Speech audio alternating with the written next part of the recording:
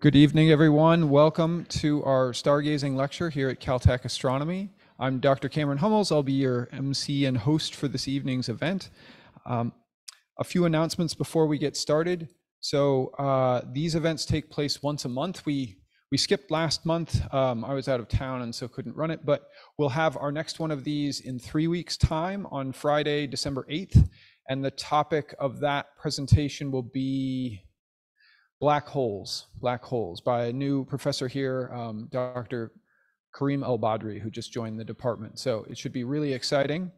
Uh, in addition to these events, we also have the Astronomy on Tap events that take place once a month on Monday nights in Old Town, Pasadena. There's a restaurant bar down there called the Dog House that serves hamburgers and hot dogs and, and beers.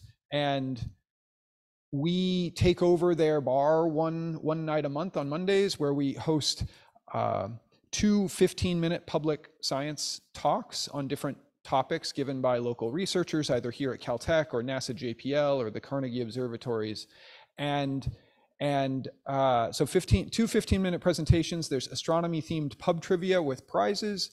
There's also telescopes and there's there's live music as well. So um, our next one of those will be in two and a half weeks on Monday, December 4th.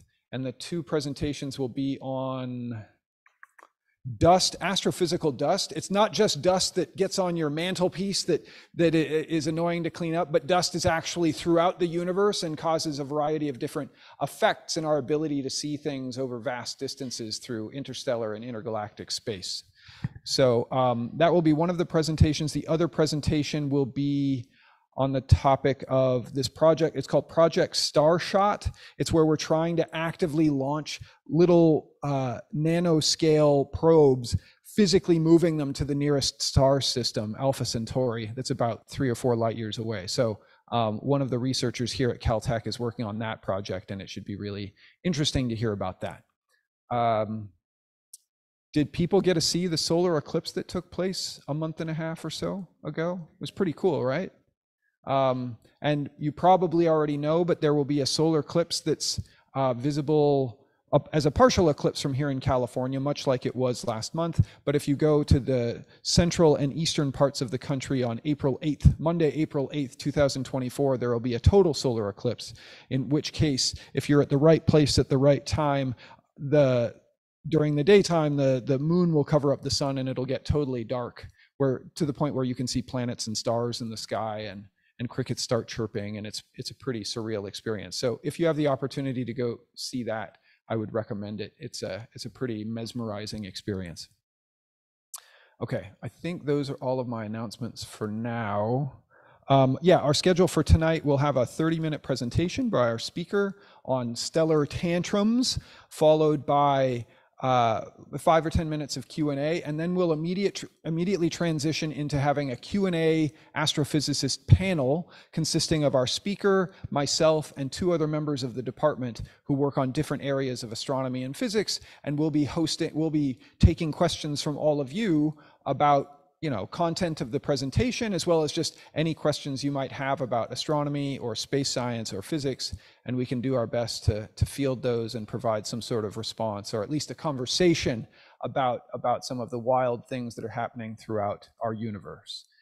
Um, normally, we set up telescopes during that period as well, so you're free to come come and listen to the Q&A or interact with us as well as go out to the telescopes. But as you may have seen when you were walking up, it's quite cloudy, and the expectation is that there's this uh, atmospheric river that's coming into the west coast of, of the United States, dumping an enormous amount of moisture in the next 36 hours. So um, we had one telescope set up for a few minutes out front, but it quickly became clouded out to the point where we couldn't even see Jupiter, which is a shame because Jupiter's nice and bright and and uh, visible tonight. But if for some reason it clears up, we'll we'll try and get the telescopes running, but don't don't hold your breath. It looked like it was going to be cloudy and raining for most of the rest of the evening. So, um, okay, okay. So our speaker for tonight originally hails from Hong Kong and did his undergraduate studies at Carleton College in Minnesota before he actually went into industry and he worked for Amazon for a year as a software developer um, before then rejoining academia and becoming a member of the, the department here as a PhD student. He is a fifth year PhD candidate, sixth, forgive me. No shame, I was seven, so that's that. You're you're you're good to go. Um, a six-year PhD candidate, and he's finishing this next spring. So soon you'll be able to refer to him as uh, as doctor.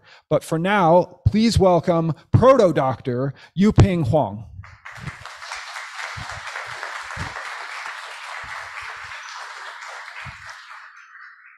Well, thank you, Cameron, for the introduction. And um, raise your hand if, if you find me to be too loud, okay? Sometimes I get overexcited, but.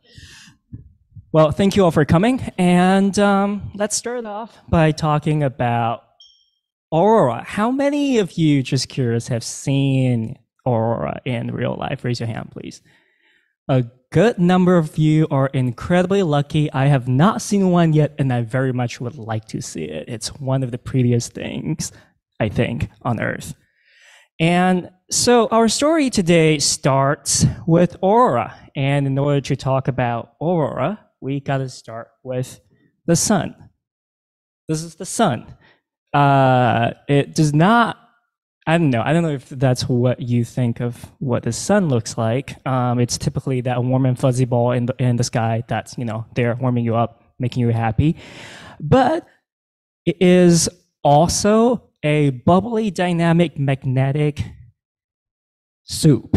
I was going to say mess, but so the sun has a magnetic field, um, much like Earth. Um, it does have a large dipolar structure, like a bar magnet, but because it's hot, um, there's a lot of bubbly things going on. And some of you might recognize things like a sunspot, which are these dark spots um, basically spots where the sun's magnetic fields are exceptionally strong.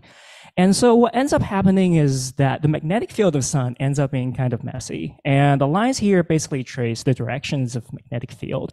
Basically, if you drop a compass needle in there, which way it would point. And it's messy and it's constantly changing.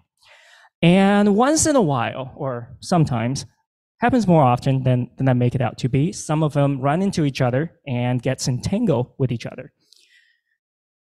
Kind of like this. Um, have, have people try pulling on rubber bands and then just keep pulling? What, what happens next?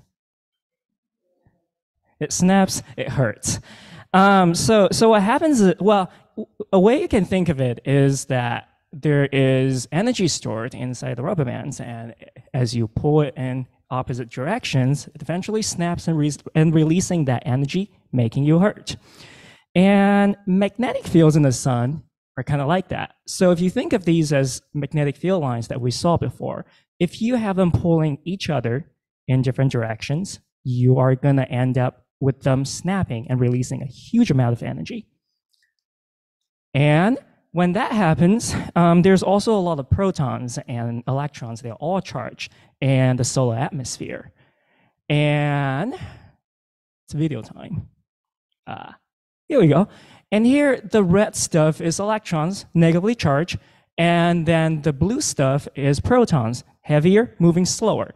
But what ends up happening is that what you have is a ton of stored magnetic energy getting converted into um, motions of these particles and they get accelerated going in all the different directions. And when that happens, you end up with quite a bit of space weather and you end up with phenomena like a solar flare. Here you can actually see some of the field lines and I want you to pay attention to like stuff up here. There's a large scale field. There's more going, there's, there's more forming and then you start having what's called a flare where the sun gets much brighter and you can notice that the, the field that was, that was previously there went away. So the field reorganized itself, they pull on each other, release a ton of energy, heated up things, and the sun got brighter. That's a solar flare, which we do see. Another phenomenon that's related when, when particles gets accelerated by magnetic reconnection is coronal mass ejection. So looks like that. You have a, well, you have a giant ball of material that is being accelerated by magnetic reconnection and it eventually leaves the sun. And sometimes they do come at us. And so this is a cartoon of um, Earth, our home, the sun. Usually we are showered in just a constant bath of charged particles from the sun. It's called a solar wind. And whenever there's a solar eruption, like a coronal mass ejection, where you get that huge ball of plasma coming at you, what happens is that that's eventually going to hit onto the magnetic field of Earth. Some of it gets diverted, and some of it actually gets redirected toward the polar regions of the of Earth, Earth's atmosphere at really high velocity, and they interact with molecules in Earth's atmosphere, and they make aurora. And one of, well, let me just say, one of the most, well, one of the, well, the most spectacular um, uh, coronal mass ejection that has been recorded recorded in print was the Carrington event of um, 1859, and I think there's a little little snippet from um, well back then um, when there were local newspapers, the weekly the Weekly West from Missouri about sums it up. So it's a telegraph from Boston that says, the auroral display of last night was so brilliant after midnight that ordinarily print could be read by its light. It considerably impeded the working of telegraph lines, and its effects were continuing up to noon today. The auroral occurrence from east and west was so regular that operators on the eastern lines could send messages to the city without the usual batteries being applied. So there are two things that happen in this giant um, solar storm slash coronal mass ejection. One, you see very, very bright aurora all the way down to Boston.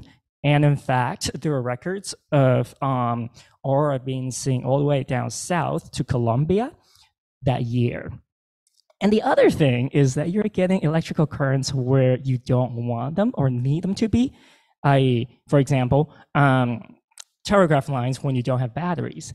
And you can imagine if such a, if such a coronal mass ejection hits Earth today, that's going to wreak havoc to a whole lot of infrastructures that we have, um, starting from satellites in space and um, electrical grid because you're generating currents and overloading infrastructures. And in fact, I think it was in 1989, uh, coronal mass ejection caused a blackout in Quebec. And going down, you're going to have um, currents as well and pipelines and cables under the ocean. Not a good situation. That's why there's a whole lot of resources being devoted to the study of space weather and how to mitigate their impacts. But I'm an astronomer. Um, I, I, I would like us to step back and think about, well, what's the impact of these energetic particles on, well, planet formations in general. And so we go to our neighbor, Mars. So um, th these are results from MAVEN, which was a probe that was sent to Mars in 2013. And um, orbited Mars. And one of the most spectacular results that came from MAVEN was that it actually observed solar wind particles, here shown in color, basically hitting onto Mars's atmosphere, which is tenuous, and basically um, bringing molecules in Mars's atmosphere away from it. And so, as you might or might not know, um, there were traces of water well, traces of the existence of water in the past on Mars. There were like things that look like canals and stuff like that. Um, but it does not have water currently as we know it. And one of the, and one of the, the theories is that it used to have a much denser atmosphere that kept it warm and eventually lost its atmosphere and it lost its water with it. And the leading contender for why that happened are part, energetic particles from the sun. And here just showing uh, artistic impression of Mars being bombarded by these energetic particles and um, taking its atmosphere away with it. So, in addition to eroding um, atmospheres of planets, energetic particles from suns and other stars are also a threat to some building blocks of life. So there has been so so we know that Earth has an ozone which shields us from the most dangerous of ultraviolet which you know our dermatologists tell us to to, to protect ourselves from because skin cancer. Um, but it also it, it, uh, but, but ultraviolet also interferes with uh, replications of DNAs and things like that. And our ozone does shield us from the most dangerous of them. And it turns out that if you get enough energetic protons into an atmosphere, it catalyzes a reaction that can potentially destroy ozone on the planet. And that's bad news. And in addition, um, energetic particles, if you have protons or neutrons um, that's cruising through biological tissues, um, can potentially sever DNA molecules. And DNA molecules is where um, we encode the genetic information of living organisms. And if they get broken, you cannot reproduce um, reliably. And that would be a potential threat to life as well. Stepping back even more, there are only so many planets in the sun. The sun is only one star. There are so many other stars out there. What, what about, what about, what about, um, what about the particles, environments around other stars and what they do to their planets. And so let's talk about our neighbor, um, Proxima Centauri, or well, or Alpha Centauri. Um, that was what Cameron was talking about. People were planning on sending probes to. It's the closest star to us. It happens to be a red dwarf star or an M dwarf star. It's a main sequence star, but it is redder because it's cooler than our sun. It's also much, much smaller. And as a result,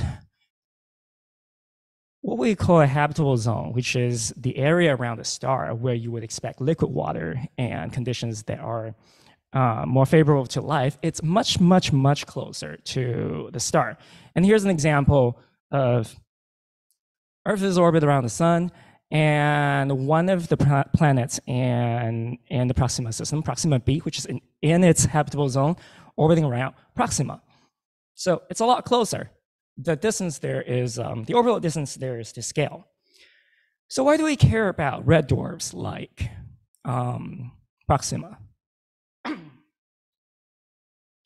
Well, it turns out that there are a lot of them. There are about 70% of the stars in the galaxy, and therefore, wherever you look, there's got to be some red dwarfs. And it's no coincidence that the closest star next to us is a red dwarf.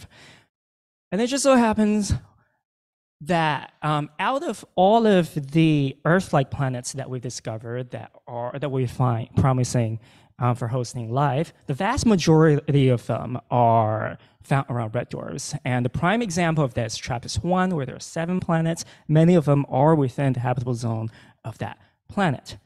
And so understanding what happens for planets near red dwarfs is incredibly important. But we have a problem. Um, red dwarfs, they are quite a bit uh, angrier than, than the sun. So this is showing, so that's a red dwarf flaring. And this is the sun flaring. And let me just show, show, show the video again. So this is the largest radial flare that has been observed in, well, since we have satellites in space that observe the sun. So you know, I'm just gonna go back and go for it. And again, so it actually shows the sun flaring first. Um, you know, that's where it happened. And then it shows this tiny, youngish red dwarf flaring. Um, the energy release is uh, many thousand times that of the sun, and you know, not not a good situation. And we know that flares are accompanied by really, really energetic particles. So the theory goes, well, maybe these red dwarfs are really good at throwing particles at planets around them. And we, they also do some weird, uh, some other weird things. Um, red dwarfs are known to host much stronger magnetic fields than the sun, and it actually uh, recently have been observed to have radiation belts where lots of particles gets trapped um, in their magnetic field and just keep spiraling and accelerate it to really, really high energy. And this is an artist's impression. That's the actual image um, from radio observations where you see um, the two blobs of the two, the two edges of um, the belt. And so you would expect that since red dwarfs are so good at producing flares and they're so good at accelerating particles, you'd be seeing coronal mass ejections around them all the time. And so how do we do that? Well, the answer is with radio telescopes. And let me explain. So I work with this radio telescope. Um, that's what it looks like. Um, it has about 352 of these tiny antennas in, uh, the, uh, in, in Owens Valley in Northern California. And we observe in radio wavelength and in particular and uh, meters wavelength. So um, visible, so, so this is a spectrum of light um, going from visible light all the way down to radio waves. And we sort of observe between FM radio and AM radio. If people still know what AM radio means, but it's radio. And so it turns out that one of the best indicators of um, uh, solar coronal mass ejection is what we call uh, type 2 solar radio bursts. And this is data from, from, from, from a telescope where on the x-axis you have time, the horizontal axis you have time, on the vertical axis you have frequency. And this is the signal coming from the sun. Takes a little bit of explanation, but basically it started out at higher frequency, higher pitch, and it ends up at lower frequency, lower pitch. It's like a chirp.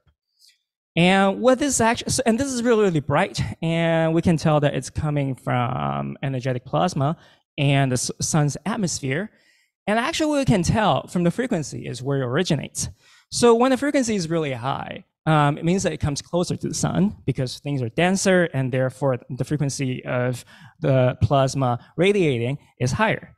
And as it propagates outward, the shock front of, of the coronal mass ejection. It goes through a lower density area further away, and the radiation um, goes to a lower frequency. And I like to think of this as, uh, I don't know, have you all tried to buy watermelons and trying to figure out if it's ripping by, by just tapping on it? If it's a higher pitch, it's probably not ripe yet. If it's a lower pitch, it's probably ready. It's kind of like this, where the pitch or the frequency of the signal that you're seeing is telling you something about the plasma environment. And in this case, a downward drift is telling you how fast this blob is traveling, and it's telling you things about um, its environment and the star's atmosphere. And these are incredibly bright, so we expect to you know see things like this all the time with red dwarfs.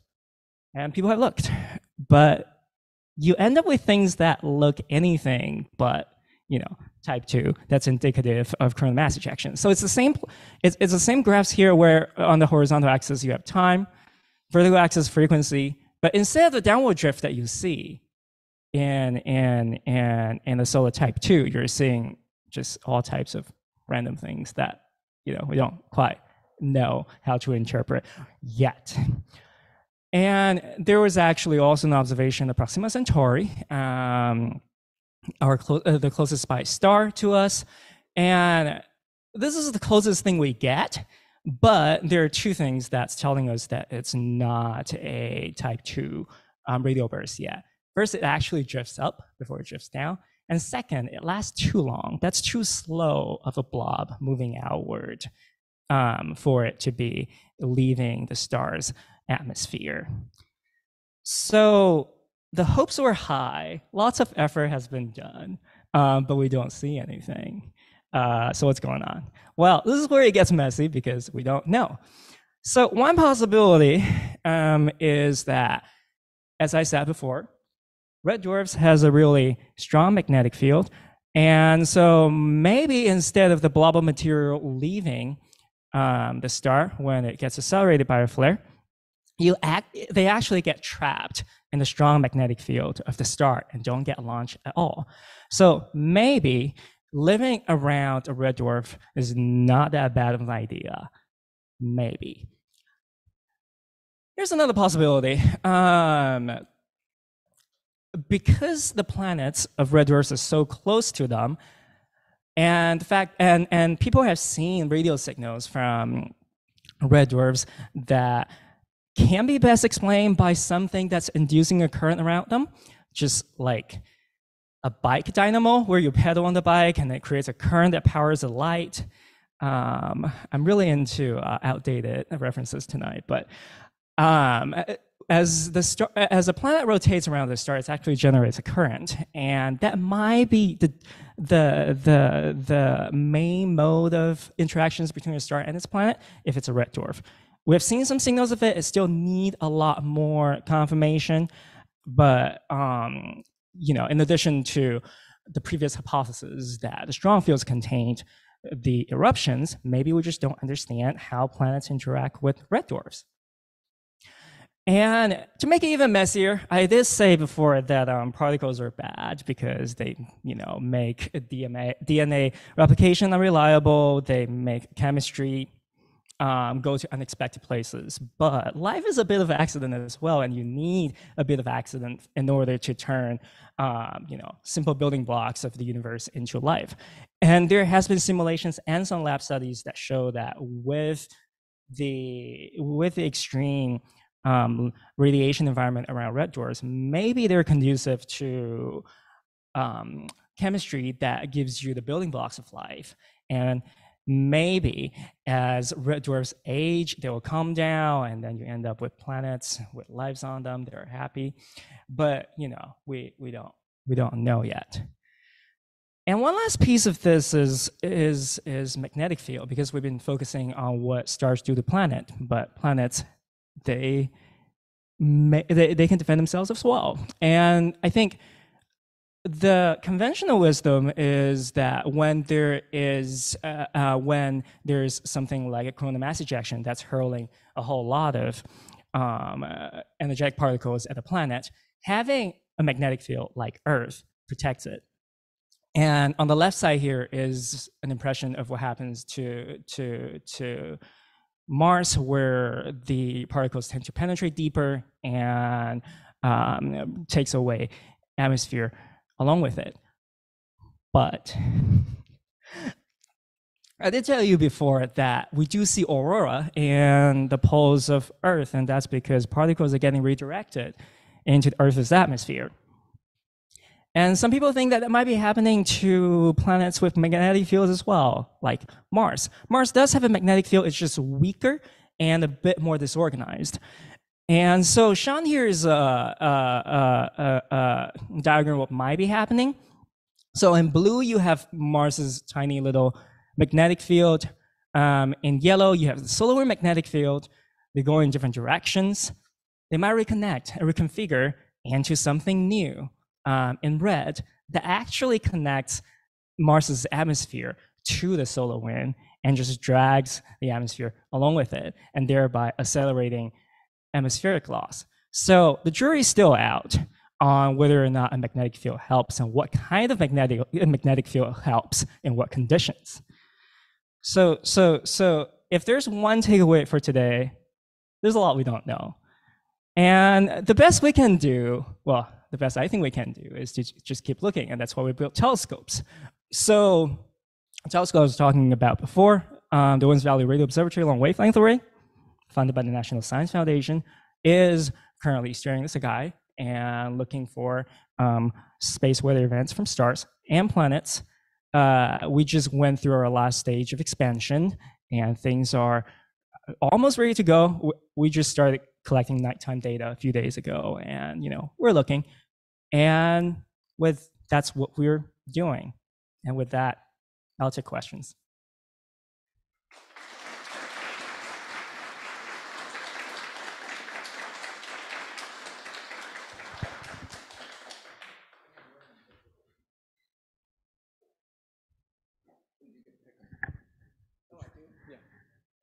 Has a question?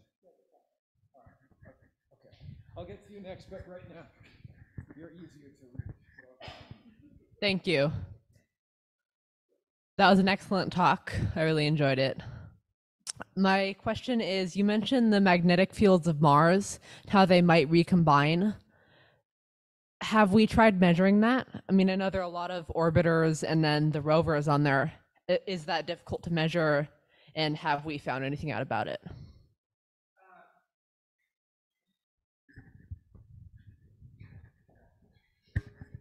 Yeah, and there there there there are still more there's still more um, orbiters and rovers being sent to Mars. So here's what I think we have measured. We have seen magnetic reconnection, but we have not seen atmospheric loss accelerating in connection to a magnetic reconnection. so that's sort of where things are at. So yeah.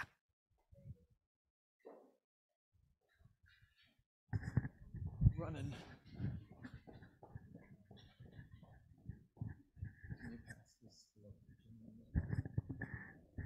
Actually, thank you for the lecture. Two, two quick questions. First of all, what's that big spot uh, on the screen right there?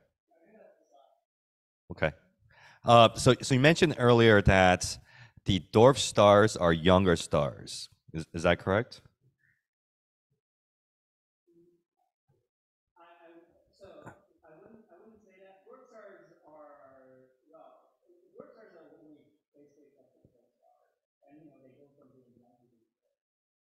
Okay. Uh, I was just wondering if they would grow in size as they age and perhaps swallow up other planets around them. Yeah, that's an excellent question. And the sun will eventually, Sorry, I just want to. eventually expand and, and, and expand up to just about the Earth's orbit and swallows Earth. Um, the thing about, and, but for red dwarfs, which are quite a bit unlike the sun, they actually take a very, very, very long time to age. And, s- and when they do enter into the, the last stages of their lives, they do not expand.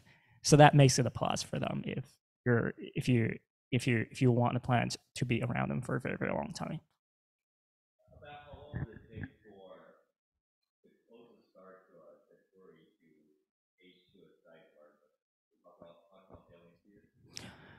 So Centauri, uh, well, Alpha Centauri is a red dwarf, so it will not expand.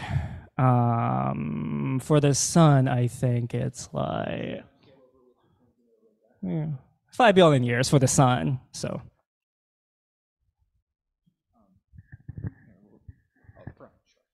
I just wanted to clarify that Proxima Centauri is a red dwarf, but Alpha Centauri is a sun like a star like the sun, isn't it?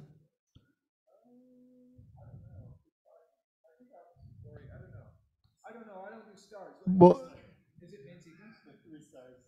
no, right, right. But Proxima Centauri is a red dwarf, and Alpha Centauri is the brightest. Vi- yes, but they're sun, but they're sun-like stars. Yes, I'm, I'm. Yeah, yeah. Yeah, yes. Okay, sorry.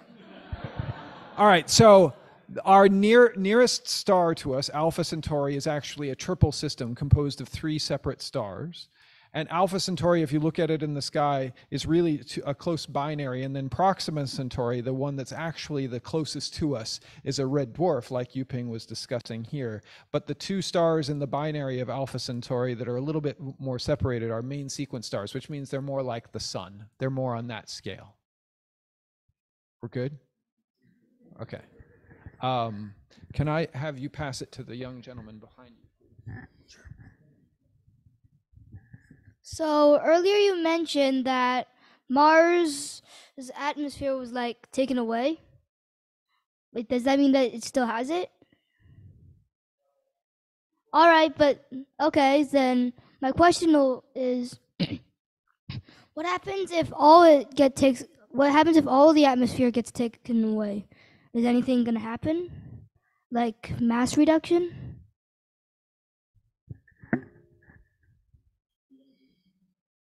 Great question. Great, great question.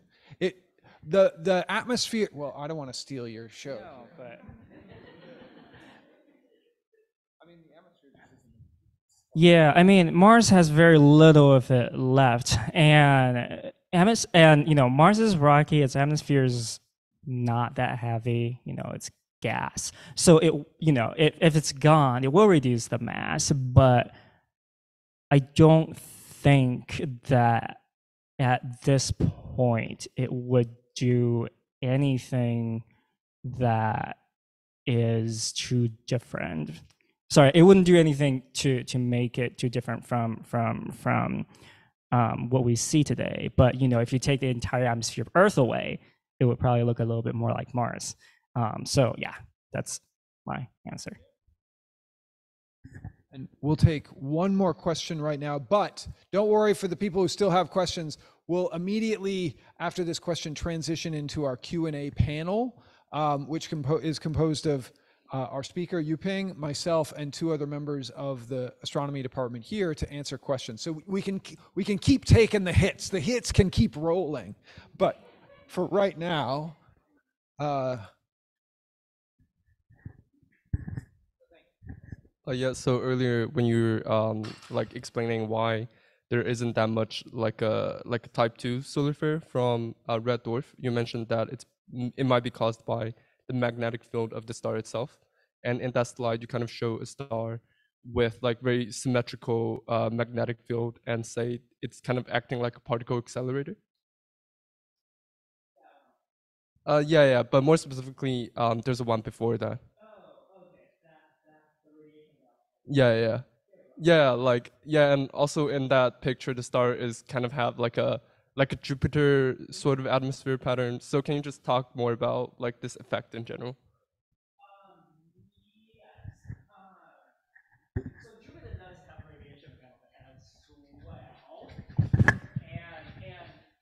Yeah, this this this very orderly magnetic field pattern, which I think was what you're referring to. Um,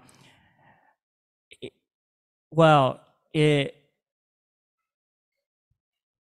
it's what you would expect when. So okay, let me step back. Red dwarfs have uh, have somewhat messy magnetic fields as well. It's just that for some, um, the orderly part that looks like a bar magnet is so strong that that's what drives lots of physical processes on them. The sun also has something like that, but then it, it's weaker relative to the messy parts of it.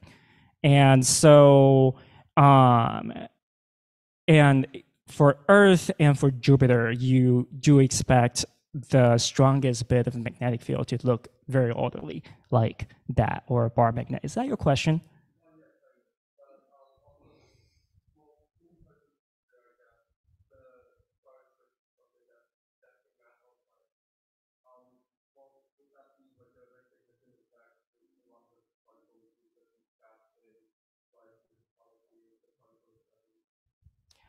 Yes. yeah, no, that, that- sorry, go ahead.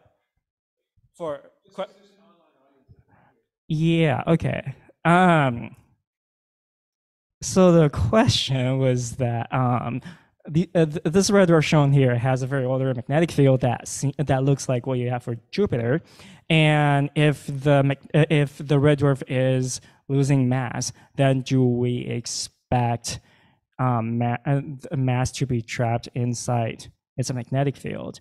And the answer is uh, yes, we think, and that's sort of where the radiation belt comes from because um, they keep spiraling around the the the star and keeps getting accelerated. I mean, eventually, if if they get accelerated enough, they escape. But there's a substantial amount probably that that that's trapped around the star.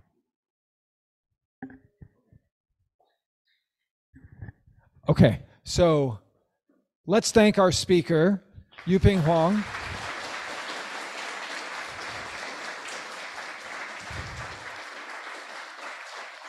I just checked outside. It's totally clouded over. So sadly, we won't be able to use the telescopes this evening.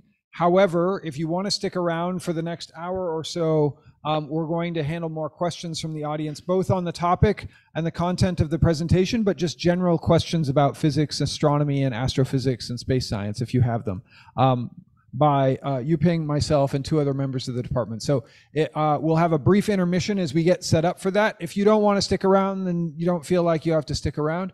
Uh, but if you want to stick around, you're free to come and go as you see fit.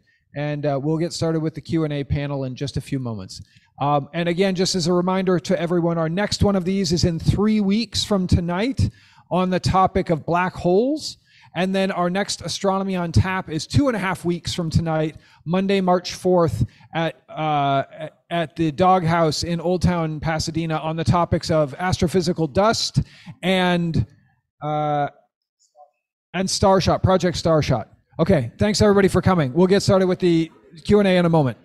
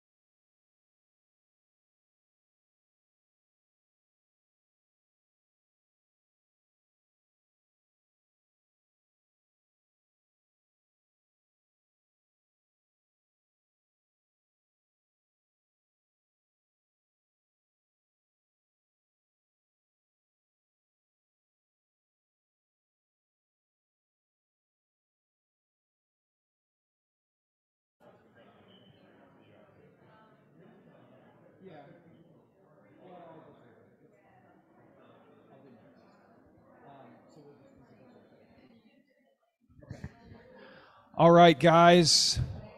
Thanks everybody for sticking around for the Q&A portion of the evening. Can I get everybody to quiet down a little bit, please? Turn it up just a hair. Okay, so uh, so thanks for sticking around for the Q and A. Um, essentially, before we start taking questions, there's actually a bunch of questions on our YouTube audience that we'll get to as well. Um, I'm just going to have everyone on our panel go through and do a very brief introduction, so you know what we are and what science we really know. But feel free to ask questions outside of our areas of expertise. We'll do, you know, we're four people. We know some stuff. We'll try and do what we can to to put together some responses. Um, so, for reference, I'm Dr. Cameron Hummels. I'm a research scientist here. I primarily study galaxies and their formation and their evolution. I do that through means of computer simulations.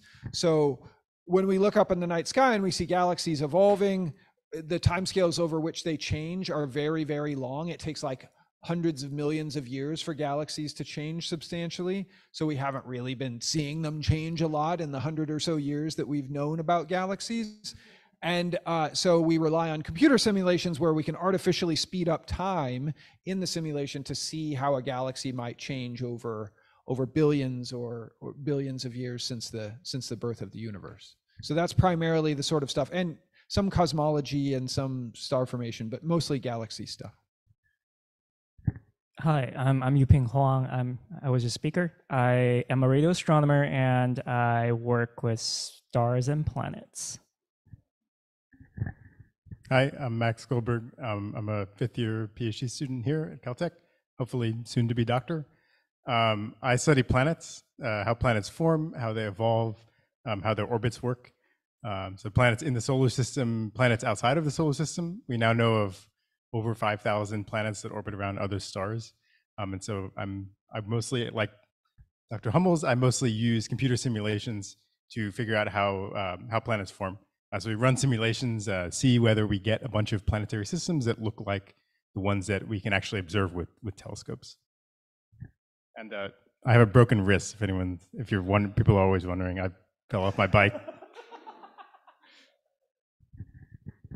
Hi everyone, uh, I'm Sam Rose. I'm a second year grad student here in the department. I work primarily in time domain astronomy. Um, I'm mostly interested in optical, so things you see with your eyes, and infrared, so just a little bit redder than that, uh, transients that we see in the night sky. My primary instrument of use is the Zwicky Transient Facility on Palomar Mountain, which is just a little bit uh, inland from San Diego.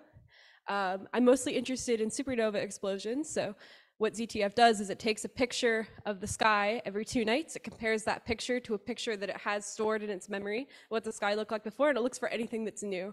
Um, and some of those new things are exploding stars. Um, so I'm really interested in the physics of exploding stars, how uh, black holes um, and neutron stars are formed in those explosions, um, and sort of the other byproducts of these explosions, including interstellar uh, uh, dust, which then goes on to influence galaxy evolution and star formation, and just sort of getting a sense of that cycle.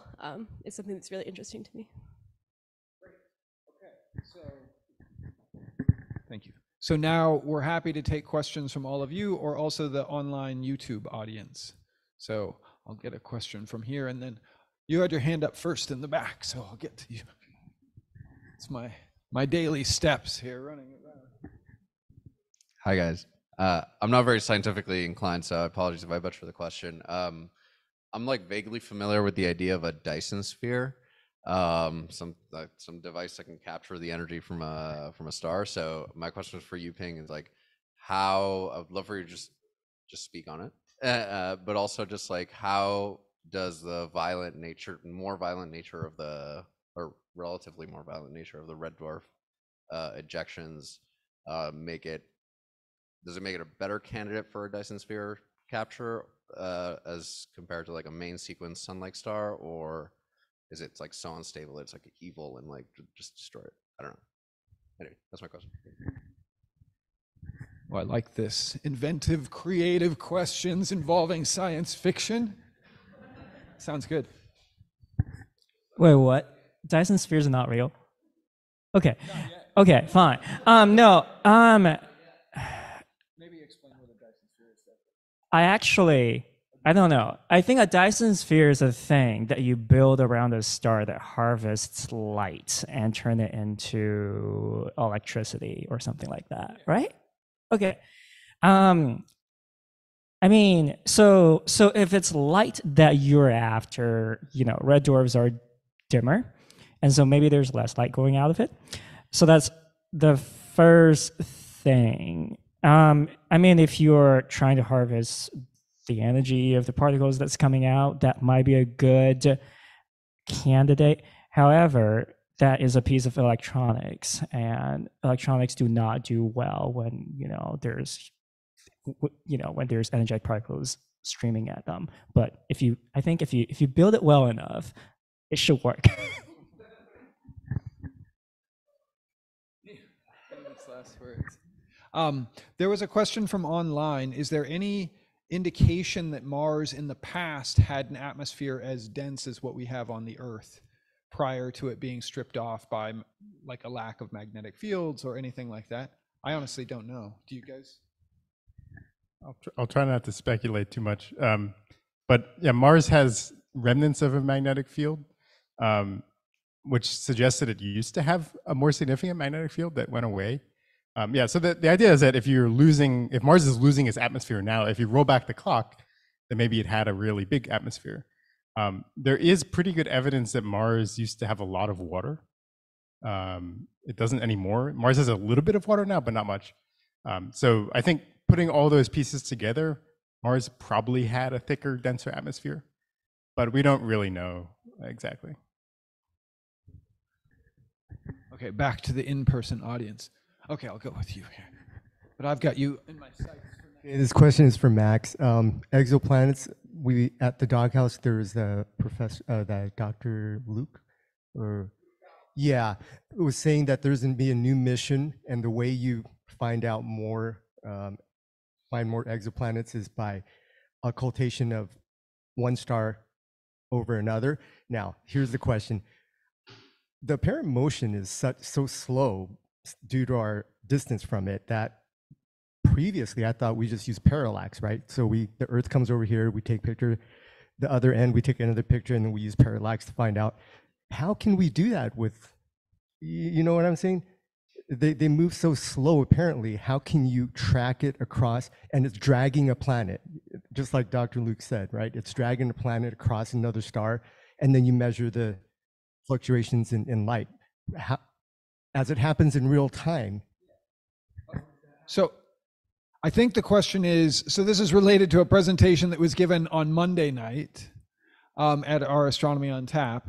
When stars pass in front of each other, if you have a binary star system, you have two stars that are orbiting around each other, and one will pass in front of the other star. And if that one of those stars hosts a planet as well, you'll see a brightening and then a dip in the in the overall brightness from the background star, indicating the presence of the planet. And your question is, how do you observe this in real time? it's a multiple star system then, like a binary, like in the Alpha Centauri system, there's three. So as they go around each other, then we're talking like 11 years. So then you can observe it. Thank you. You answered my question. In, inadvertent solutions. I like this. I like this. Yeah, just to add, like um, for most of the exoplanet discoveries via this method, they the planet passes in front of the star usually in a couple hours. That's the typical timescale. Um, so we see a dimming of the star for a few hours, and then it gets back to its normal brightness. Um, so that's how long it takes. But then there's the, the gap between those is however long it takes for the planet to go around its star, and uh, that could be very very long. It's less likely that we would be able to see that, but it could be 10 years or whatever, um, just depending on the setup. But the same thing happens with stars or planets. It's, one star can block the light from another star as well. Thank you for clarification. Yeah. Uh, I have a question about like the uh, computer systems, like to simulate like galaxy formation and like stars.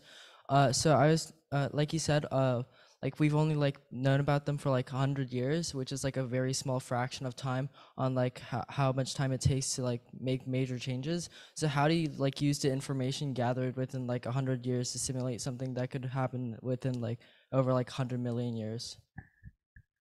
Excellent, excellent uh, introspective question. Uh, the the main thing that we're doing is oftentimes when we're simulating galaxies, we're not trying to simulate specific galaxies. Of course, once in a while, we'll try and simulate the Milky Way and how it's changing, or the Andromeda galaxy and our relationship to it. But usually, when we're simulating these systems, we're simulating a, a generic galaxy.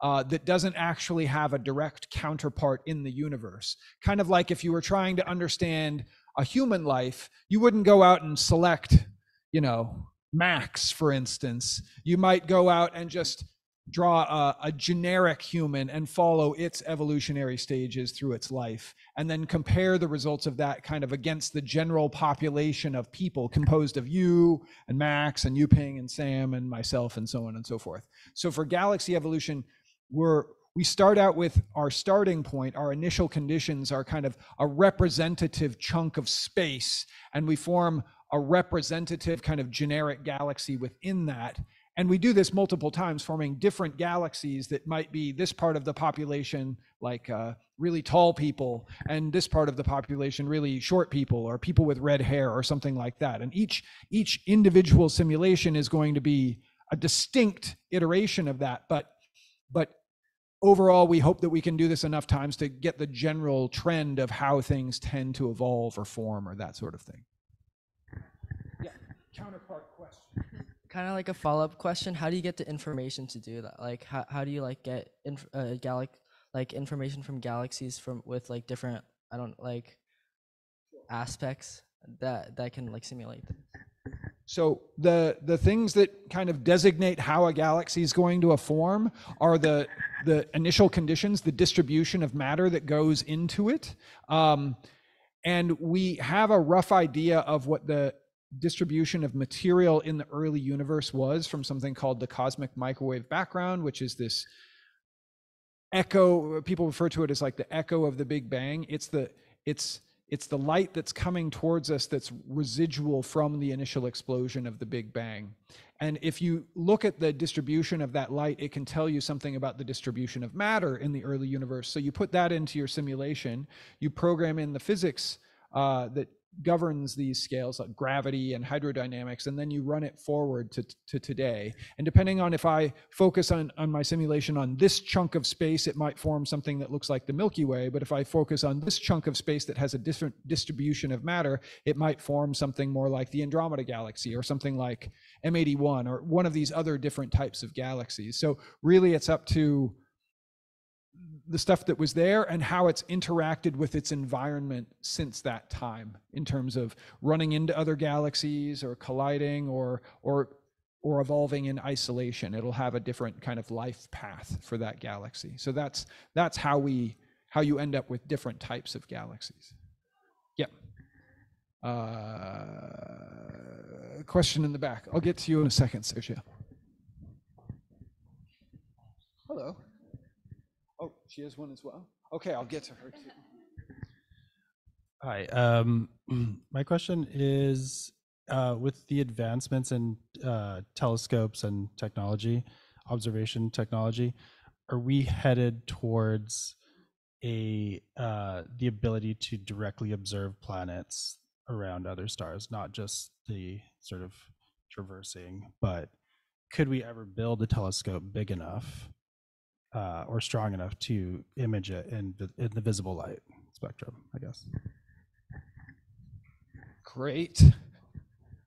And it turns out we we have kind of, but I'll let you. Yeah, as Cameron just hinted, um, we, we can do this kind of. Um, so the vast majority of planets that have been discovered have been discovered indirectly via this like shadow of a planet passing from the star or via the wobble of the star. Um, but a small fraction of them have been discovered directly by just imaging them. Um, about 10.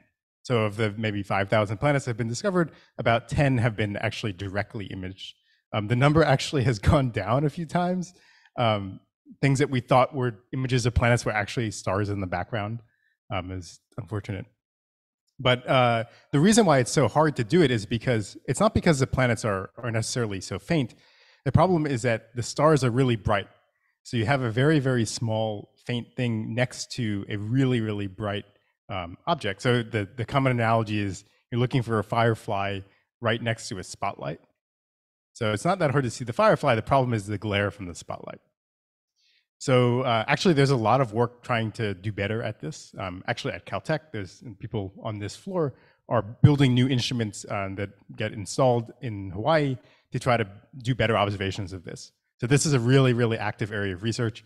Um, it will be very different in 10 or 20 years. We'll have much better instruments for doing this. Um, right now, we can directly take pictures of planets if they're far enough from the star and if the planets are hot enough and big enough so that they're kind of bright. But if we're trying to take an image of a planet like Earth, um, we're decades away from being able to do that.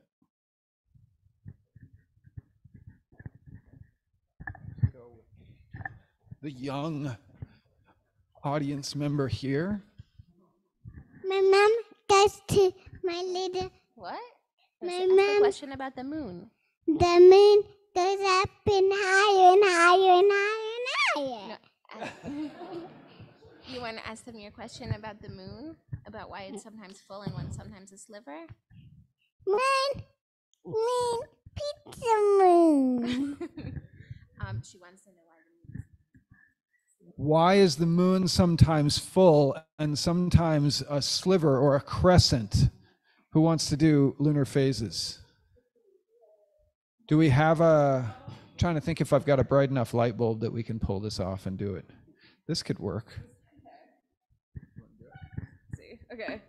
I have a microphone. Maybe the microphone can be the earth. Okay. So my water bottle is the sun. My black marker is going to be the earth. So I rotate around over the course of a year. I go around the sun. Over the course of a month or a month, we see our. Ooh, maybe I need a third. All right, let's see. Okay, so we got the Earth, we've got the Moon. So all. Hi. Okay, so all the light that we see from the Moon isn't actually from the Moon itself. It's sunlight that's being reflected off the Moon. So here I am on this side of Earth. During a full moon, the Moon is over here. So when I look, the whole surface of the Moon that I can see from Earth is illuminated by the sunlight coming from my water bottle. And then for a new moon, instead, it's over here. It's during the day. So you might have noticed sometimes you see the moon during the day instead of during at night. That means the moon is somewhere over here instead, where only parts of it's being lit up. It's like a little tent. A little tent? Tent moon. Like a sliver? Or like a like it's it's sort of like a crescent or something like that?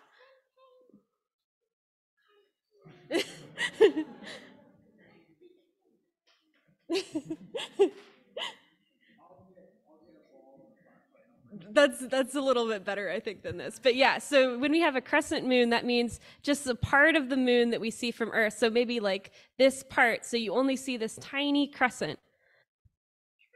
I have some little, little, little, little games, and they're very, very small.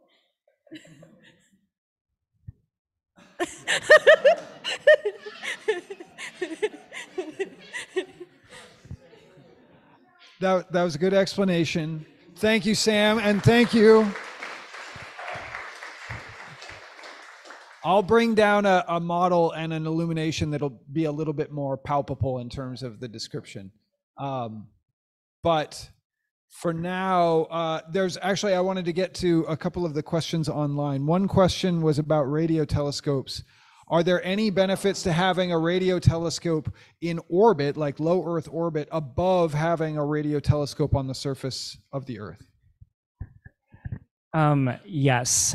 Um, there there are lots of advantages to having telescopes in space in general. Big part of it is because the atmosphere distorts light and radio waves, and that just makes life really difficult on Earth um, doing astronomy in general. And therefore, if you any instrument that you can put on Earth, um, I think I would prefer it being in space if it weren't so expensive. So, but but but but but but to be serious, there are radio telescopes or single dishes that are orbiting in space, and typically what you do is link them up with dishes on Earth and then use them together. And I think that there is also one dish on the moon, but I don't think that people have tried to do imaging with it with stuff on Earth. More questions?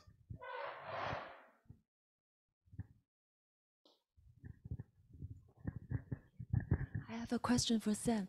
Uh, can you tell me, tell us more about the supernova you observed, and like, is it uh, what's the, the, the latest, and or the, I mean, what kind of things you observed so far? Thank you. Yeah, so the benefit of a big survey telescope like ZTF, which sees the whole northern skies every two nights, is that we find a lot of stuff all the time.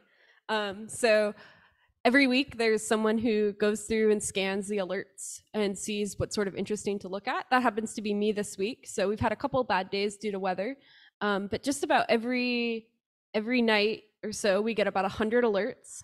Um, of those, not all are actually supernova. A lot are um, from the active galactic nuclei, so black holes at the centers of galaxies also show a lot of variability. Um, so these show up as differences in our nightly picture of the sky, so we see those. Sometimes we see things like novae, which are uh, much not quite supernova, but are also outbursts. Those are from um, usually white dwarfs um, that just sort of uh, brighten up um, as they accrete from a, a companion. I would say if I had to pick maybe the most interesting supernova um, that we've observed recently? That's such a hard question. They're all really cool. Um, I will pick supernova 2023 IXF. Um, so it's one of the closest supernova that we've seen in a really, really long time. It's a fairly typical uh, supernova. It's a massive star, reached the end of its life um, when so stars support themselves against gravity by fusing elements in their cores. Uh, once you fuse up to iron in your core, you actually you actually can't fuse any higher because you don't get any additional energy. So as you may know, like um, hydrogen uh, bombs, they release energy by fusing, um, but like uranium, and plutonium, they release energy by fissioning, so by getting less massive. But you can't actually get energy powering a star by doing fission. So uh, you sort of end up at iron um, with no more uh, any kind of uh, fusion to support your core anymore. Your core collapses, and eventually it ends the amount of time that it can collapse due to uh, quantum mechanical effects. It can't collapse anymore. It has a bounce, it launches it outward, um, and just pushes out up. But this one is really interesting. It's a fairly like vanilla, normal core collapse supernova, but it was really nearby, so we were able to study it really well. Um, and we haven't had a very nearby supernova since 1987. Um, this one's farther than the one that we observed in 1987, but it's always nice when we have something nearby and we can study really, really well, um, just because they're so much brighter and we can uh, get a lot more information than we are able to normally. So I'll pick I'll pick supernova 2023 IXF.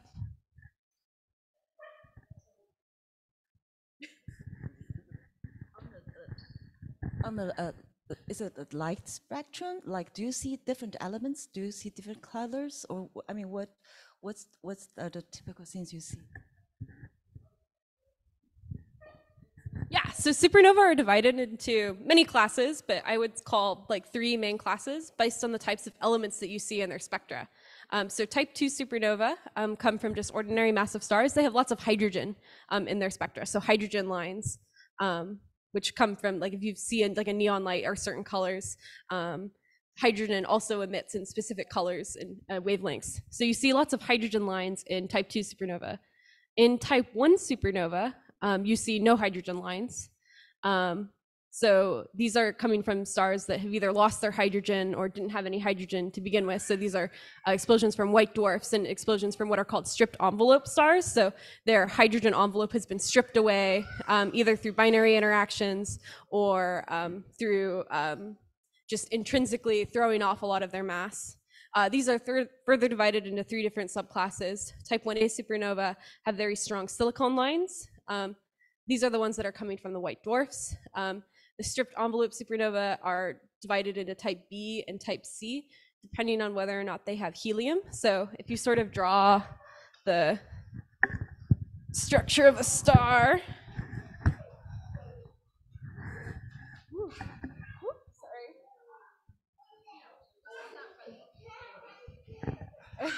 oh no.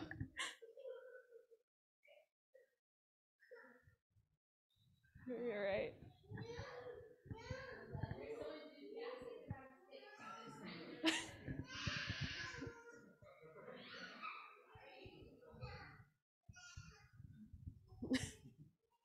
All right. Okay. So um, stars and their lives, they have some kind of iron core. This is what ends up collapsing.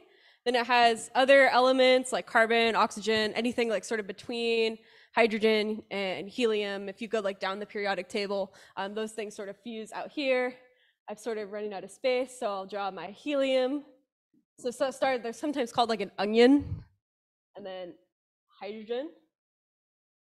So in our type 1, uh, type 2 supernova, we still have our, uh, from massive stars, so these are stars more than eight times or 10 times the mass of our own sun.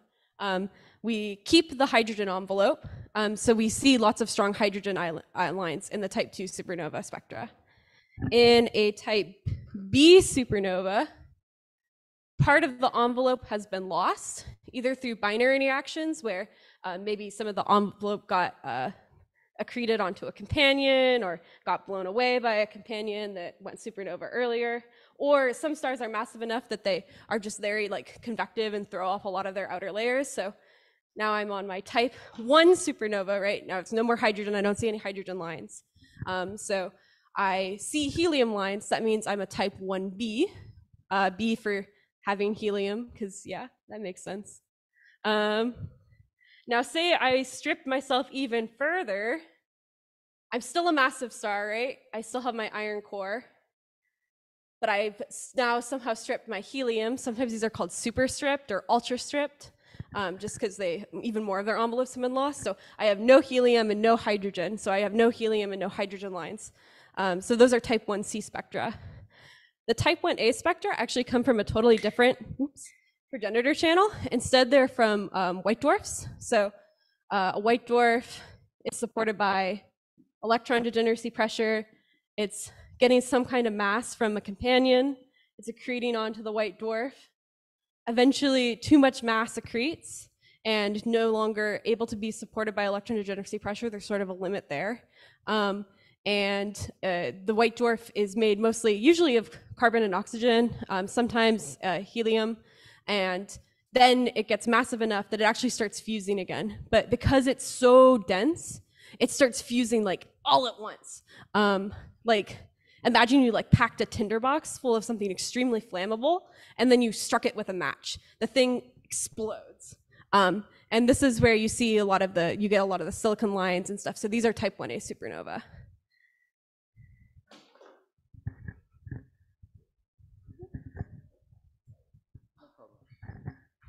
Question. Okay.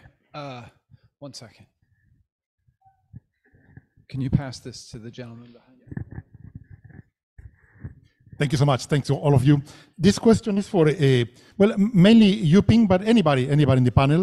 Uh, at first, it could uh, seem or sound disappointing uh, to have, you know, say, planets around the red dwarfs that are in inhospitable environments because of the flaring of stars and all that. Uh, we also have a, a, a, planetary systems around white dwarfs that were already engulfed by the red giant phase of the white dwarf. Uh, so these are more like cinder worlds. My question is, uh, is there any sense as to how many, what is the proportion or what fraction of these, let me call them cinder worlds or dead worlds or dead planets, how many of those could have had a favorable conditions for life to have thrived on them in the past? Right now they are just, you know, dead, whatever, but, uh, but it's quite exciting actually, the possibilities that they could have harbored life. So how many of those, maybe all of those, maybe, I mean, it's, uh, what, is, what is your sense of that?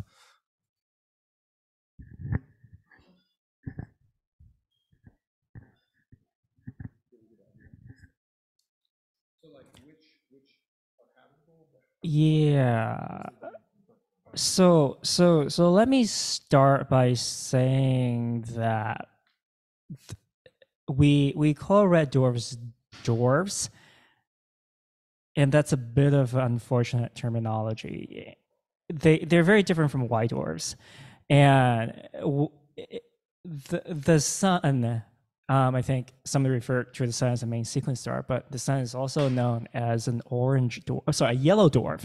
So anything but a white dwarf is a normal main sequence star that's you know either young or in their prime ages, and some of the main sequence stars, um, mainly stuff that's bluer than a yellow dwarf, like the sun or the sun, will continue to expand as they well when they reach the end of the life they expand and it eventually either goes supernova or turn into white dwarfs that being said um, there has there there's been only i think there there there are very few planets that's been found around white dwarfs um, you know which are which are real which are stars that have gone through the expansion phase. So i don't think that we have a good sense of how many of them used to be habitable. If anything, the, the it, it will look kind of like planets around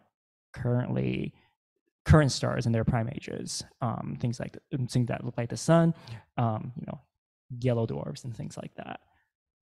But I guess we can estimate things like we think based on the exoplanets that have been detected in the universe or in our galaxy that there's the prediction correct me if i'm wrong it's basically we think that each star in the galaxy or in the universe probably has at least a planet right? That's basically the estimate. And i guess the question then is when you have a main sequence star that turns into a red dwarf and burns its nearby nearby planets and then turns into a white dwarf. Oh i'm sorry did i did I, uh, forgive me. Yeah, forgive me. Sorry, guys. Slip of the tongue. Um, uh, turns into a red giant and then torches its nearby planets and then turns into a white dwarf.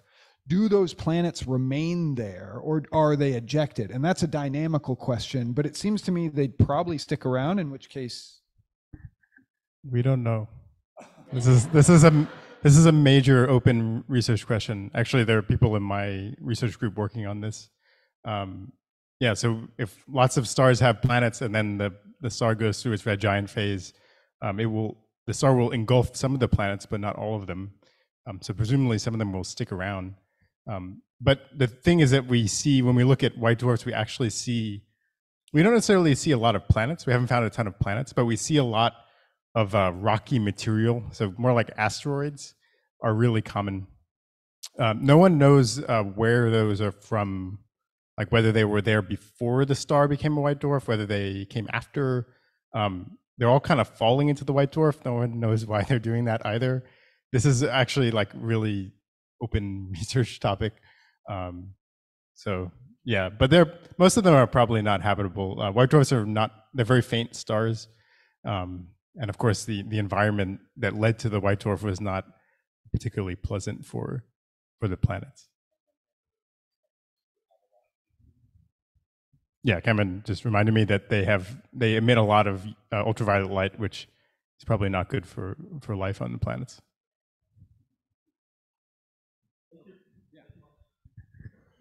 Okay. Uh, okay. Um, as mentioned, like Mars used to have a stronger atmosphere or magnetic field. Could Earth become like Mars and lose our magnetic field or lose our atmosphere? Or is that a possibility?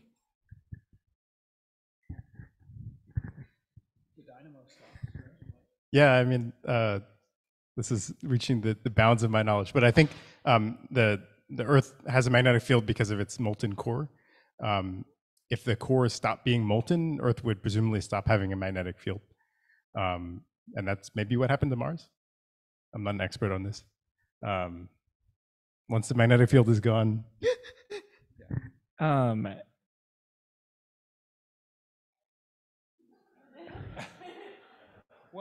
I, I, I- can add something.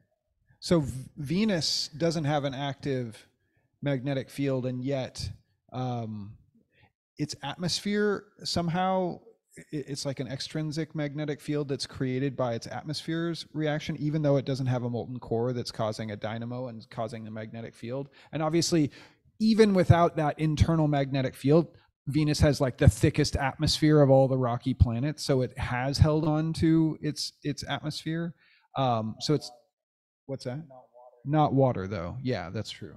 So it's a magnetic fields are tricky a tricky business. Um, and I don't know. Presumably, yeah, what Max said is correct. Like if our dynamo stops, then our magnetic field stops, and then we lose our atmosphere and lose our water, and then it's a bad place for us. But I don't know. Venus is kind of a counterpoint. So not that it's pleasant to be on Venus because it's like super dense, uh, super high pressure, and a thousand degrees, and all of these problems. But okay, uh, there was a question in the back that I keep promising to get to.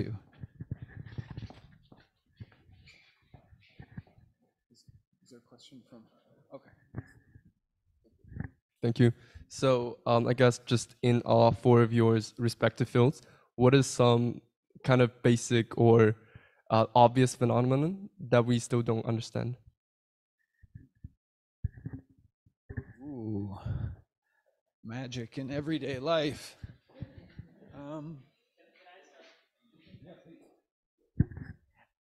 Why does Earth have a magnetic field? uh, uh, I, I need to think of. Does anybody else? I need to think of How do stars work? You we you should we have an understanding of stellar physics, but a lot of it, especially when you come to like supernova explosions and these kinds of things, where we've been working on it a long time, you sort of think we should know how these things go. Uh, we really don't have a super deep understanding. We don't know whether any given star will form a black hole or a neutron star, whether it will explode or implode, um, which seems a very like straightforward question, right? You should be able to, from a star, be able to say, okay, are you going to explode? or Are you going to implode? Some of them implode, some of them explode. We don't know why. Um, we know we have some idea of why perhaps there's something in their cores they're more dense um, and then that causes them to implode. Some of them have like less dense cores to begin with and that causes them to explode but there really isn't as deep an understanding as as you may think there should be um, and sort of is presented in freshman astro classes. Like if you're above 25 solar masses you'll always become a black hole. Or if you're you know below 25 solar masses, you'll always become a neutron star. That boundary is much, much um, fuzzier in reality. Uh, one in planets is why is Jupiter the mass that it is? Um, so it's kind of a stupid question, like why is Jupiter Jupiter mass? Uh, but the thing is that when when planets get really really big, like Jupiter, um, they grow very very fast. They become really efficient at sort of sucking up all the material around them, um, and so they actually grow like exponentially fast. But then uh, seemingly Jupiter just stopped growing. Like there's no reason why it couldn't have just been twice the mass that it is or, or 10 times more. Um, and we just don't really have any idea of why it stopped growing. Like presumably it ran out of material um, to, to accrete, to gain onto its, into its atmosphere, but we don't actually know why that happened. You want to add anything else?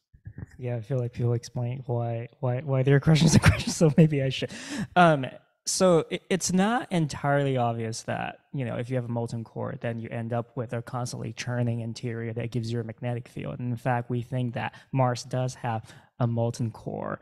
Um, if you have a molten core, you know it's like all liquid, but everything is settled down where the heaviest stuff is in the center, but the less heavy stuff is out there. It doesn't necessarily, you know, churns. It just settles, and that doesn't give you a magnetic field. And so there are theories that says that maybe it was a giant um, ast- asteroid, a giant impact from the asteroid or something, a minor object, um, an asteroid that that sort of uh, disturbed equilibrium that used to be Earth, and that got the process started. But we don't know, and we don't have enough planets around to tell us what would give rise to a steady self-generating magnetic field. Um, I'll, I'll suggest two answers to your question. One is a tie-in to what Sam was talking about that we don't really well understand the evolution of stars and the processes in them. I mean, we we there are stellar scientists who spend their entire careers doing this, but that's that I'm not trying to put those people down, but we don't have like a perfect understanding. And furthermore, our sun our sun, there's a lot of behavior on the sun that we have some idea of how it's behaving, but the magnetic fields associated with the sun are super, super, super complicated. It's not like the Earth where it's roughly just like a bar magnet, um, like a north and a south pole. The sun has all kinds of crazy stuff, and you've got sunspots, and you've got the features that that uh, Yuping showed during his talk of these outflows and flares and coronal mass ejections, and it's very, very complicated. And so, for instance, there's a mission right now called the Solar Parker Probe that's trying to better understand that the the atmosphere around the sun by taking samples at different locations. But right now, the the atmosphere of the sun is is much much hotter than the sun itself. Like the solar surface is a few thousand degrees. But the corona, and it has nothing to do with coronavirus, corona just means crown. So it's the, the region around around the sun that extends all the way, in some ways, out to us. That solar atmosphere is like a million degrees. So why it's not well understood why that that corona, that atmosphere is so, so much hotter than the surface of the sun. And that's one of these things that this mission is trying to understand, which you'd think, you know, we've known about the sun for a long time now and yet we still don't have a really good understanding of of its long-term behavior. Um, and the other thing that I'll just add to that on a totally different take is dark matter. Dark matter is something that astrophysicists basically invoke willy-nilly to to explain the dynamics of very large systems like galaxies or clusters of galaxies and without it in our models galaxies don't work correctly they'll fly apart because they have so much rotation or angular momentum and they don't have enough mass to hold them together to counteract that rotation. And so we invoke this idea of dark matter all the time, this unseen matter that has to be in our models in order for things to behave correctly, but it doesn't, we can't see it. We can't take a picture of it. We can't detect it in anything directly through visible light or light with x-rays or light with radio waves or light with any part of the electromagnetic spectrum and so that is something that i think is a very basic thing that we should and are trying to understand i mean it's the the major mass component to the entire universe it it dwarfs the amount of stuff in protons and electrons and and so-called baryonic matter the stuff that makes up us the normal matter. This dark matter is a much larger constituent of the universe and yet we don't know what it is. So i think that that for me at least in my research is the biggest kind of elephant in the room is like we we think we should understand this but we we don't yet understand this. So it's yeah i always say this like if when people ask what is dark matter? I'm like if we had the answer then we'd have a nobel prize because like that's one of the big big questions in in the field of astrophysics that we don't yet understand okay uh, I'm going to take a question from our YouTube audience because I don't want them to feel like I've been ignoring them. And they have some wonderful questions here. Uh, the question is There was a question about Miyake events. Have people heard of that? I had to look it up because I'd never heard of it. Um, these are, someone asked if Miyake events were more powerful than the Carrington event, the event you were describing in your presentation, this 1859 solar uh, activity. I guess a Miyake event, there have been five that have been found through dendrochronology of tree rings and such that indicate some massive cosmic ray flux from other, presumably some other distant, distinct objects like stars, nearby stars, or maybe uh, AGN or something like that. But I don't know, so I I don't think anyone on our panel can necessarily. Oh, you can. Okay, you can talk about these events. Yeah, that's sort of why. Well, I I don't know the specifics of Miyake events, but I, I hesitated when I when I said that the Carrington event was the most energetic solar events that we observed because there has since been studies of tree rings where they um, found out that in certain, I think like yeah, something like that. thousands of years ago, um, you you certainly got a whole lot of um, well, you, got a whole lot of um, protons and neutrons, probably from the sun. And there were also archaeology records of people seeing aurora, um, and and in, in very far away from from the poles that coincided with some of those records. So I think those might have been even more energetic than the Carrington event. There was another question about why are red dwarfs angrier than our own sun? Why do they have these more energetic flares and coronal mass ejections and such? What's the physics of why that is? Short answer is that they have a stronger magnetic field.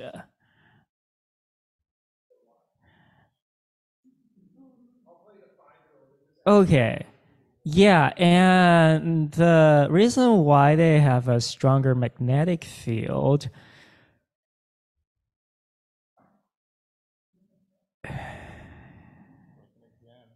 I know. Um let's say okay, they they they are smaller, they are cooler. So then uh, the the the the, the inside the, the inside of star is much hotter than the outside of the star and that heat has got to go out somewhere somehow. And so how mass so so then how massive how big a star is impacts how the energy gets outside. For something like the sun um, it turns out that a lot of energy escapes without stirring up a lot of materials inside the star. Whereas in uh, a red dwarf it just so turns out that as the the the energy gets out primarily by pushing materials outward and that's a whole lot of bubbling and that gives you the churning motion that we were talking about before that gives you a strong self-sustaining magnetic field that's the best i can do Okay. I'll add one more dimension to this that hasn't been mentioned. Um, so stars age over time, like everything. Um, as stars age, they become less active. So young stars are really, really active. Older stars are less active. Uh, red dwarfs age very slowly. So they have a. So actually, there are no red. There are no old red dwarfs because the universe is just not old enough yet. Um, so they will eventually age, but they just haven't yet. Um, so we we we don't like the ones that exist now are still kind of all young. But the sun, for example, is not young. But when the sun was young, young, it was very active as well.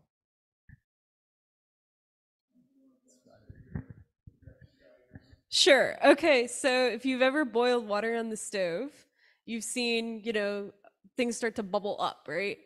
Um, your stove top is very hot. The air above it is cold relative to that. Um, things start to churn around, and you get these like bubbles that pulse up. And you can sort of see, even with the stove, right? Things are sort of to come up and get pushed away. Um, and that's sort of what I've tried to illustrate here it's extremely poorly. so you sort of have what are called like convective cells. So if I maybe just look at one of these cells, like I have some like colder thing, which is it went to the surface, it's cooled off, it's falling down, it comes back down here, it's being heated up by fusion, um, and then it's pushed back up again, and you get sort of these all these uh, convective cells, um, which just are churning and bringing material up, and and just like a pot bubbling on the stove, things start to come up. Um, maybe like frying stuff in oil is the better example. Things are sort of like, you know. Oh. Yeah. soup example. This is very exciting. So if you've ever ordered miso soup at a at a Japanese restaurant, and if it's still hot, you continue to see the particulate in the miso that's that's going through this convection, through this kind of churning as it heats up and and and then reaches the surface, cools off, and falls back down, and you get that same kind of effect. And that's the that's called convection, and we see that in a variety of different environments, including the interiors of certain types of stars, including the sun. The outer layer of the sun does this convection, which is largely attributed with a lot of the magnetic activity that we have in it.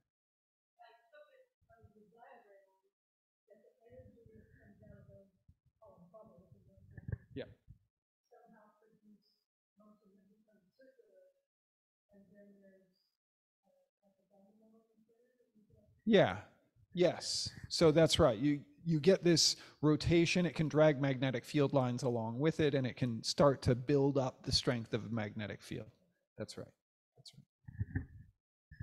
We actually have convection cells on Earth. So um, if you if you look at a map of the Earth, you can see that actually a lot of um, deserts are at the same latitudes. They're a little bit I think 30 degrees, 20 degrees for the Hadley cells. I don't actually know.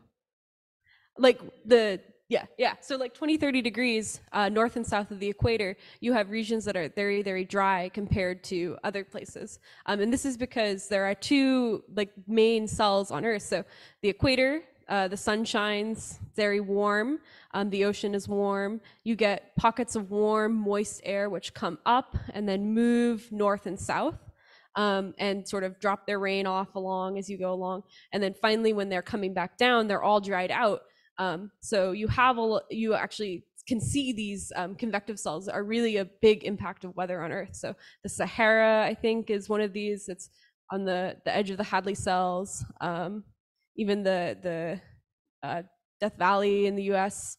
Um, what is the Sonora and the Mojave? my geography is much worse than my astronomy. Uh, yeah, Atacama, all of these ones that are like at 20 and 30 um, degrees where you, you lack these um, cells, which are sort of coming down the down part where they've given up a lot of their moisture, um, are falling down and a very dry, dry air coming down from above. Um, and then on the equator, you have the very moist cells that are coming up. So convective cells happen everywhere and are important. Yeah, thunderstorms and hurricanes are convective too, and very angry. Okay. Additional questions? Yes. Uh, a question on coronal mass ejections. So we can see them when they leave the sun, and we can also see them when they interact with our atmosphere via aurora. Um, can we track them in between, or are we just kind of guessing whether or not a coronal mass ejection is headed our way based on what we see when it just leaves the sun? I think, well, do you know? I think I know, but I don't know. I, I believe, so there's a number of different solar space telescopes that are constantly monitoring the, the sun and, and looking for not just behavior and activity in its proximity, but the tracking the wind as it goes outward. I think we're able to largely follow the evolution of structure into the outer solar system, but I don't know. I, I, maybe I'm mistaken. It wouldn't be through a mission because I think it gets too low low surface density to follow it beyond you know a few solar radii. But I don't know. Do you guys know? Maybe I don't know.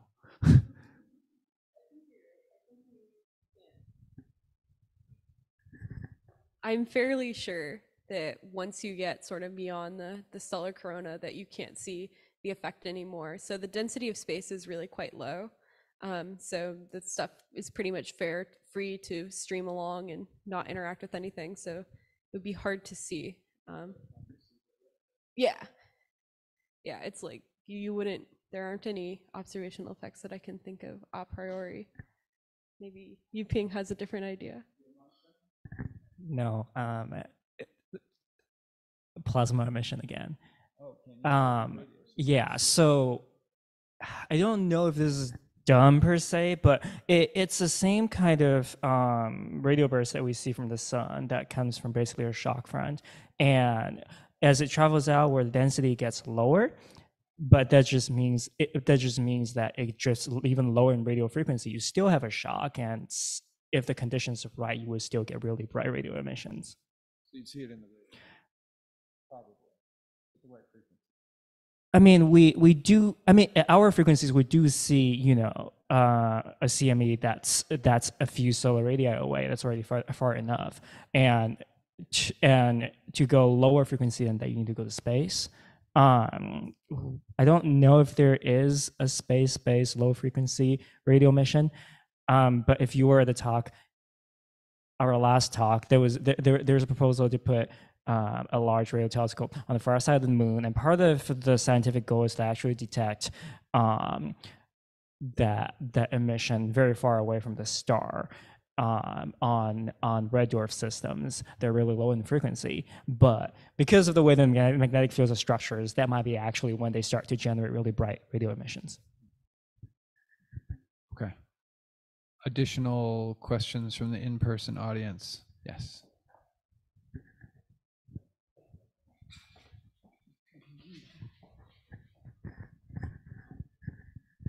Thank you. This has been fascinating. Uh, a question on. Could I ask two quick? Sure. Perfect. Um, so the first one is on why the corona is hotter than the surface of the sun. Is that a situation perhaps um, similar to what's going on with the red dwarf, where there's some kind of magnetic field entrapment going on there that's over energizing the particles to create a hotter environment? Um, and the other question is I had read some time ago that there was an idea uh, on the idea of the magnetic field that the singular moon of the Earth moved the uh, the core material in such a way that it um, united the rotations in such a way, a rotation of the core in such a way that it created a stronger magnetic field. Is there any agreement on that that uh, that you all are aware of as as a motivation for that, or what what does that look like? Thank you. Huh. I don't know anything about that. The second, do you?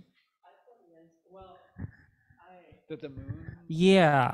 So yes, th- that has been a theory, and as I as I said before, how Earth got its magnetic field is an open question, and I think the moon was one of the theories. Um,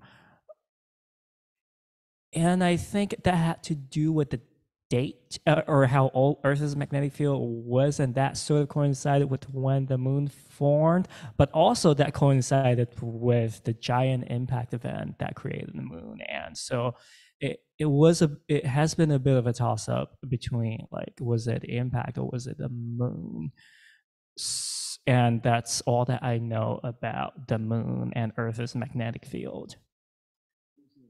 Uh the corona heating problem Oh yeah. i thought magnetic re- reconnection is kind of the answer but Yeah. maybe- Yeah. So I think you're right. I well, so the answer is we don't know, but that's why part of the reason why the Solar Parker probe was launched to better take measurements in the inner corona to hopefully try and disentangle this challenging problem about why is the corona so much hotter than the surface of the sun.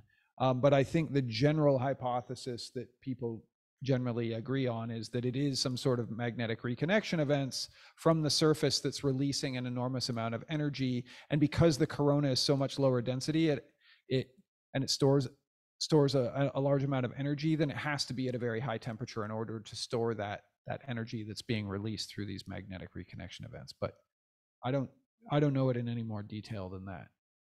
Do you guys have anything to add on that yeah magnetic fields are are kind of magical so they can do lots of cool stuff um, okay uh, i wanted to get to another question from the online audience here and that was um, the James, totally different realm of questioning than we've been having just for the last moment. Uh, James Webb Space Telescope saw planets without stars in the Orion Nebula. And are these ejected from star systems or could they have condensed on their own from clouds? I think this is a, this is a good question. Obviously, some people have strong. Yeah, so a little context. So the James Webb Space Telescope just looked um, very deeply at the Orion Nebula, which is a young star forming region nearby. Um, you can see it in a backyard telescope. Um, and it found a lot of really small, like planets, planet like objects, which are presumably also really young, um, that aren't orbiting around stars. So they're just like hanging out by themselves. Um, some of them come in pairs, actually, which is interesting. So we don't know whether they are uh, planets that formed around a star and then were ejected, or if they formed alone. So this is an open question. Um, the two hypotheses are both completely reasonable. So, for example, like if you have a planetary system with a bunch of planets, um, they can interact with each other really strongly. They pull on each other with their own gravity and basically kick out one or more of the planets. And we think this may have happened in the solar system. It's possible that we actually had five giant planets uh, early on, and then we lost one of them.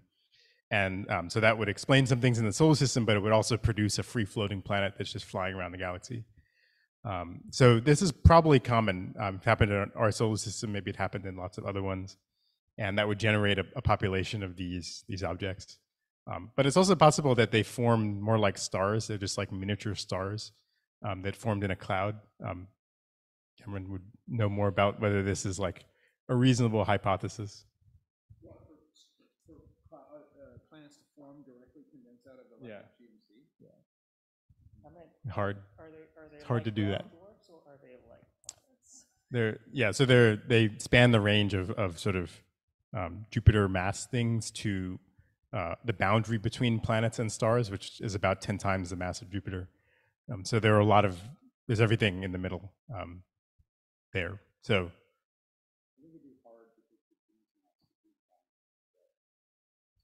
yeah, so I think when I I read about this last year for a talk that I had to give, and I think it's hard to do. Um, there are some special conditions where they could form alone, but a more likely hypothesis probably is that they formed uh, like planets around another star system and then got launched out um, in some violent event. I'll maybe add really quickly. Um, one way that planets can get ejected from their solar systems is that they have some kind of interaction with another star that comes by and disrupts the system. So this is like a three-body kind of interaction that happens um, and kicks things out. So this is more likely to happen in a place where there are lots of stars. Um, the Orion cluster, where this, these observations took place, fits the bill of this is something that was like a very dense region with lots of stars and lots of stuff happening. So the potential for three body interactions is high. So you might expect to have more ejected planets in this particular area than you would just generally. Um, but again, this is- could also happen just within the solar system as well um, as things are forming. Yeah, and we um, these observations we found lots of planets with them, but um, that doesn't mean that there aren't planets like this in other places. It's just that uh, because they're young, the planets are still really hot, and so they're easy to see. But there, this is probably just an indication that there are tons and tons of, of these free floating planets everywhere.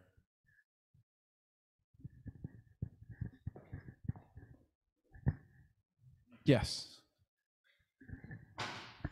Um, in studying exoplanets, are there planets like very different from our solar system, like not just giant gas and, and just rocks. Like, are there different type of properties, and are, how weird can other planets be? How weird can exoplanets be? Very weird. Um, yeah, so 30 years of discoveries has basically shown that our solar system is actually the unusual one.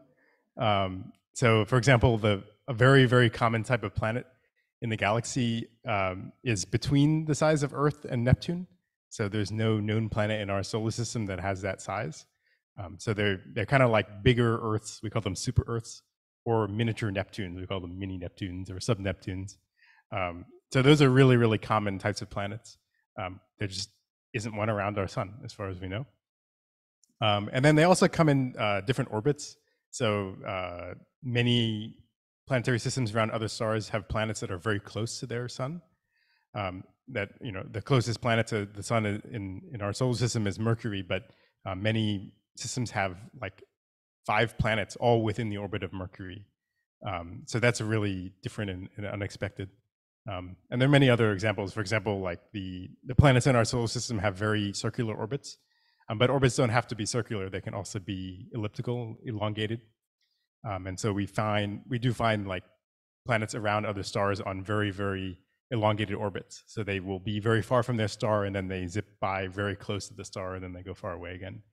Um, and, and those are actually really good tracers of some sort of violent event in the past that destabilized their orbit and put them in this in this weird elliptical orbit. So there's a whole zoo of, of exoplanets that uh, has really expanded our conception of what we think planets can be. Additional questions? There's one one here. Um, oh yeah, people were asking about this new result. So there was a paper that came out in the last week or two indicating that there might be evidence for. So we talked about the giant impactor. Uh, giant impactor hypothesis for what caused the moon. Right now, the most popular way uh, that people agree, well, roughly agree that the moon was created was in the early solar system. The Earth was going doing its own thing, uh, orbiting around the the sun, and out of nowhere, uh, some Mars-ish size impactor ran into it, slammed into it, hit it so hard that that impactor basically vaporized into molten rock and vapor rock, and then kind of part of it formed in the earth and part of earth got splashed out and eventually it coalesced into the moon um, in, in its orbit. But there was a paper that came out did you guys see this? That there seems to be evidence for that impactor f- still inside the earth in some largish form. Um, i'm trying to remember you didn't see did you? Yeah okay. Well there were questions about it. Um, I think Steve Desch was one of the co-authors on it.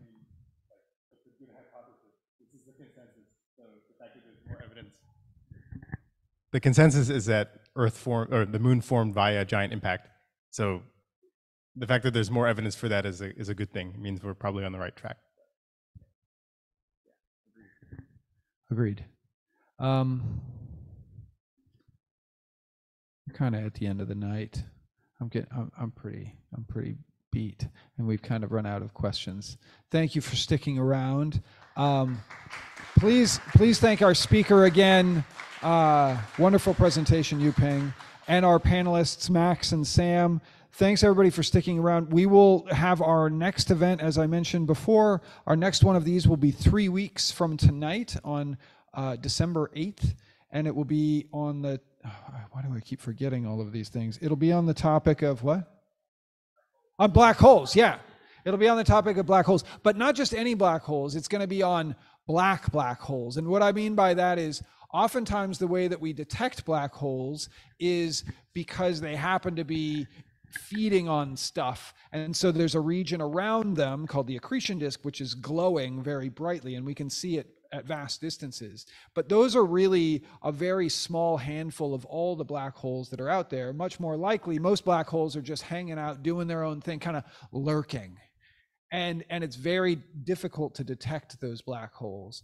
And so the presentation will primarily be about the lurking black holes as opposed to the, the screaming black holes that make themselves more, more visible. So, um, so that will be in three weeks, and then two and a half weeks will be our next astronomy on tap, given by Sam Rose of our panel, um, as well as another member of the, of the department working on Project Starshot. So so that will be super cool. So uh, thanks for everybody for sticking around, and we'll see you guys next time. Have a good night.